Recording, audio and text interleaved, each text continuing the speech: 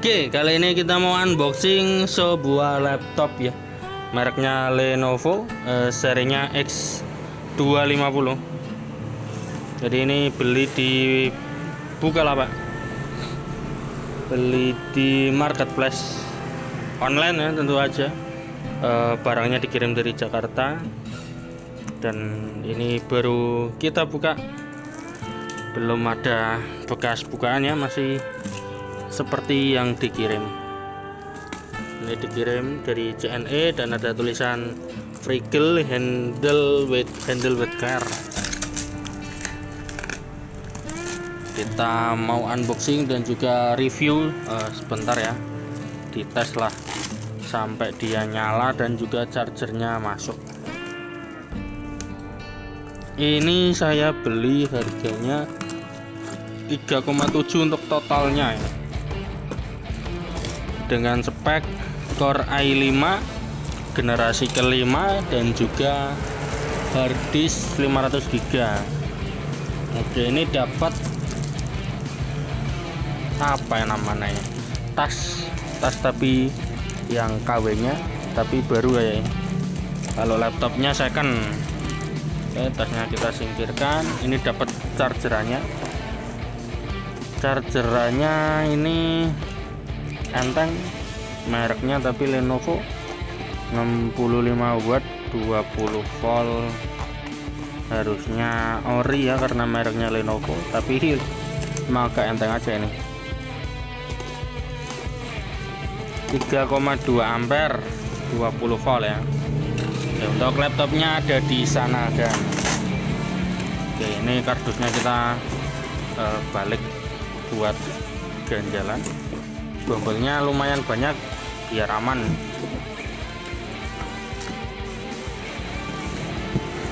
Laptopnya ntar buat simulasi modif-modif ya biar lebih enak. Kan lebih jos hasilnya. Oke terlihat di sini warna hitam. Apakah masih mulus di atas sih kelihatannya mulus semua. Belum ada yang lecet. Di bawah di bawah uh, cuma kotor aja nggak lecet ya. Aman. Ini ada segel dari pabrik eh sorry dari penjualnya ya. Kalau nggak salah ini ada garansinya sih. Ini ada satu dua. Tapi habis ini kalau nah, normal saya mau langsung congkel garansinya karena mau tak ganti SSD oke di sini ada tulisan Windows Pro.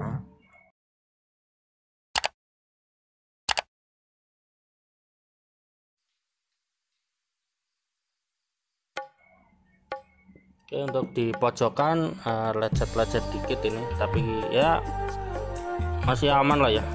Soalnya kan di bawah emang wajar kalau lecet Oke kalau dari dalamnya balik bos. Putar sini madep sini. Nah backlight backlight. Kalau dari dalam bagian keyboardnya mulus sampai ke bawah juga mulus. Oke. Ini juga mulus nggak ada yang lecet cuma berdebu aja lalu untuk di keypad atau keyboardnya seperti inilah ya. Nggak ada tombol-tombol yang apa namanya ngelupas atau apa. Oke coba kita on kan? Nyala laju ThinkPad layarnya menyala ya untuk Windowsnya dia kayak Windows 10 atau 8 ya kan? Ya. Lenovo welcome. Oke di sini ada tulisan Inset Core i5 Very Pro Ultrabook inspired by Intel. Oke udah masuk ke Windowsnya kita lihat dulu ini laptop ini ada yang pakai dua baterai. Kita tes yang ini berapa baterai. Klik. Oke. Eh dia pakai satu baterai. Baterai satu not preset present. Baterai 2 79 berarti nggak ada baterai internalnya. Cuma pakai ada baterai eksternal. Kalau mau nambah kayak harganya kalau nggak salah 300an baterai dalamnya. Oke lalu kita cek untuk uh, speknya ya. Di my komputer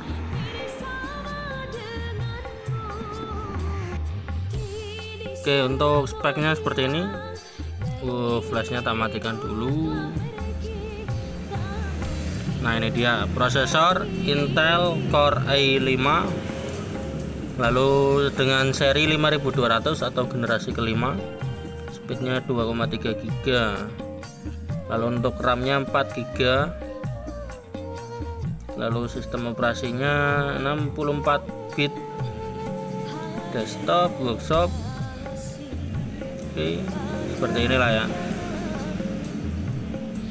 ini untuk spek dari prosesor dan juga itunya RAM-nya. RAM 4 GB prosesor i5 5300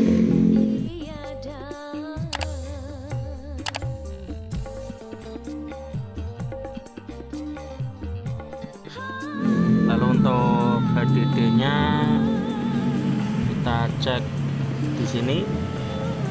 Di sini yang kepake eh, yang buat C ya. Di partisi 160 GB sih lumayan gede. Lalu yang buat file-file ini dia di partisi 500 eh, 305 GB jadi totalnya ada 500 GB ya. Ya 500 kan enggak 500 pas.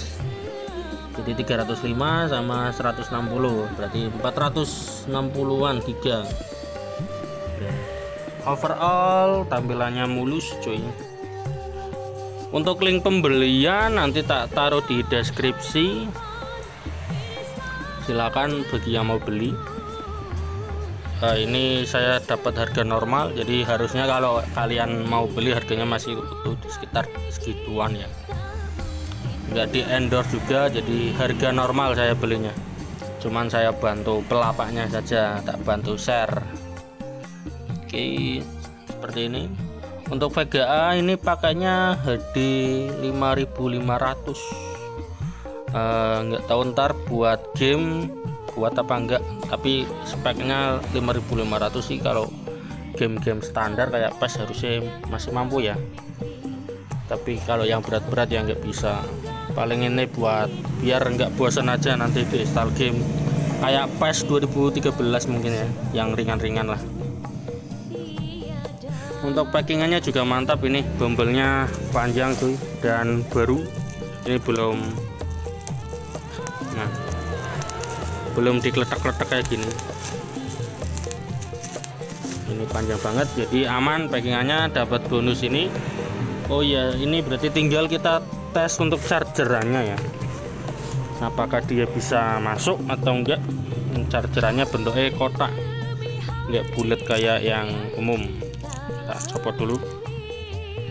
Oke udah tak tancepin di boxnya ini enggak ada indikator lednya jadi langsung ke sini. Dan ini ada logo logo ini apa namanya lagi ngecas baterai yang kedap-kedap lalu di keyboardnya enggak ada tanda apa-apa kalau di sebelah kiri enggak ada led yang menyala juga. Berarti tandanya cuma ada di situ di layarnya ya Oke untuk layarnya kita cek. Dia IPS apa TN kalau kayak gini masih kelihatan jelas berarti ini IPS ya. Kalau layar yang biasa atau yang TN kalau di kayak gini kan dia warnanya berubah. Nggak putih lagi tapi jadi merah biru gitu. Tergantung angelnya angel pas ngeliat. Tapi ini IPS ini. Jadi dari mana pun aman cuy.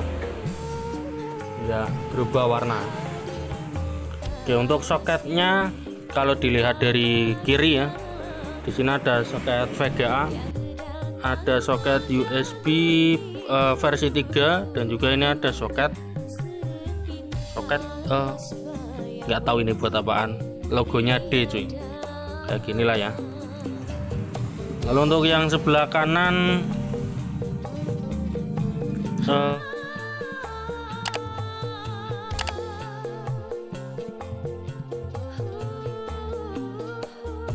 uh, ada lubang headphone jack.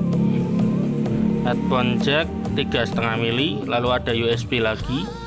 Dan juga ada card reader buat card reader. Lalu ada port LAN ini. Dan di atasnya card reader ini ada buat apa namanya SIM card. Jadi bisa nambah SIM card. Bisa pakai SIM card maksudnya jadi biar kayak HP lalu di sini ada lubang buat bandul buat apalah tali-tali apa segala macam bisa. Oke. Untuk harga segini layarnya mulus bodinya mulus serta lumayan kencang ya. Coba kita buka Firefox klik. Ini. Oh belum di dan yang enggak lemot ya standar aja. Segini. Aman cuy. Masih enak. Jadi enggak lemot. Jos lah ya. Oke begitulah proses video unboxing Lenovo X250 dan review sedikit guys oke sekian saja. Jangan lupa di subscribe di like terima kasih